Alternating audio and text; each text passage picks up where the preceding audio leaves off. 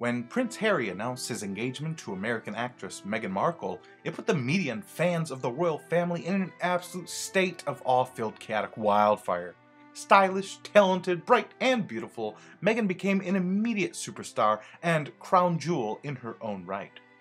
It was the second royal wedding to an American since Edward VIII's scandalous morganatic betrothal to Wallis Simpson that more or less led to his eventual abdication, and the first royal marriage to one of African American descent.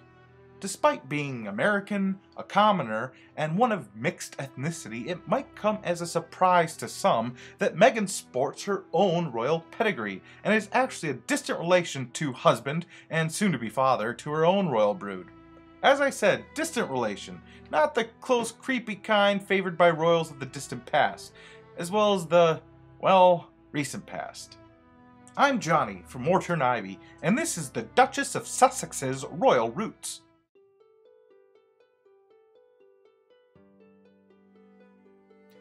For this presentation, bear in mind, solid lines indicate a direct relation, while dotted lines signify an abbreviated relationship consolidating multiple generations. Through her father, Thomas Wayne Markle, Meghan is 21st great-granddaughter to Edward III. She descends from Edward III's third son, Lionel Antwerp, the Duke of Clarence. From Lionel, this family link descends from Philippa of Clarence, and Philippa's great-great-granddaughter Elizabeth Wentworth. Elizabeth Mortimer is the granddaughter of Meghan's ancestor Isabel Hildyard, but also Jane Seymour, the third wife of Henry VIII and mother to Edward VI, who died in childbirth to the boy king. Meghan is Seymour's first cousin, 15 times removed. This line then follows through the Skepper, Merrill, Smith, and Drake families to Meghan's grandmother Doris Sanders and modern day.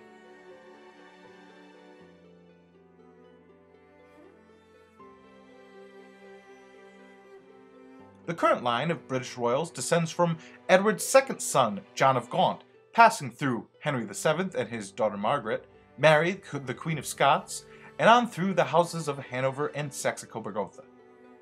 As you may have noticed, this dotted line from James VI and I connects to both Her Majesty the Queen and Prince Philip, as they are both direct descendants of Queen Victoria, and thus Henry VII and Edward III, etc. Meghan's royal roots don't end at England's northernmost border either. The royal bride traces her lineage to Scotland's hero king Robert the Bruce, who defeated England and gained independence for Scotland in 1314 from guess who, Edward III. This line descends through wine merchant Roger Shaw, who emigrated from London to Plymouth, Massachusetts around 1637. His ancestor, James Shaw, married Christian Bruce, sometimes stylized Christina, in Yorkshire in 1490. Christian was the daughter of Saint David Bruce. saint. He's a saint now.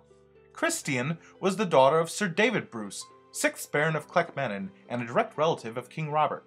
The barons Clackmannan were of certain Bruce descent, and King David II of Scots referred to Thomas Bruce, Meghan's ancestor, as the senior-most member of the clan, but historians disagree exactly how. He is referred to as a distant cousin, an illegitimate brother, and even illegitimate son to Scotland's warrior king. All of this goes to show that maybe, just maybe, Meghan's style, pose, and skill as a recently branded royal isn't so much a spontaneously developed talent as in fact a genetically inherited trait. But that's rubbish in it. While it's fun to trace genealogical lines to important historical figures, by doing so, we overlook the fact that we have the biggest hand in our destinies. Our progenitors play a valuable part in our existence, our genetic makeup, and our family ties. But in the end, the ball is in our own court, and what we do with it is up to us.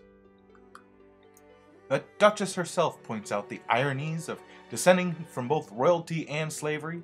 In an essay for Harper's Bazaar, she says of the latter, Perhaps the closest thing to connecting me to my ever-complex family tree, my longing to know where I come from, and the commonality that links me to my bloodline, is the choice that my great-great-great-grandfather made to start anew. He chose the last name Wisdom. He drew his own box. I've been Johnny. You're always welcome in my neck of the woods.